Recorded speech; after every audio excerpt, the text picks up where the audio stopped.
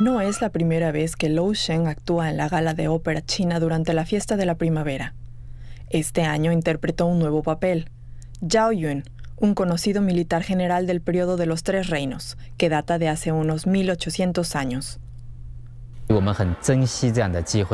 Apreciamos mucho esta oportunidad y superamos cualquier dificultad que nos encontramos. Esperamos poder presentarnos en plataformas de alto nivel como esta para dar a conocer mejor nuestra ópera.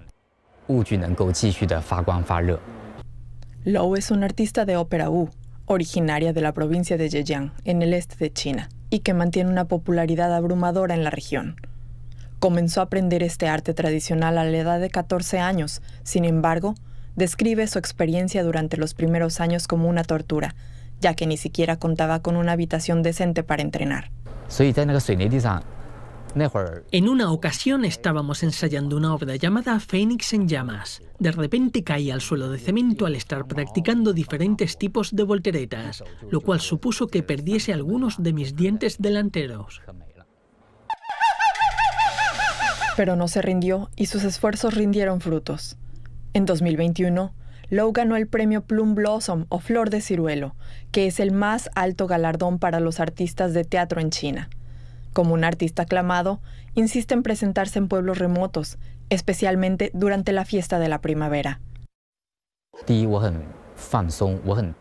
Cuando actúo ahí me siento relajado e inmerso. Sé lo que quieren y por qué les gustamos tanto, porque yo solía ser uno de ellos. Sé que algunos de estos niños apasionados pueden convertirse en personas como el yo del futuro. Siempre tengo un sentimiento especial por ellos.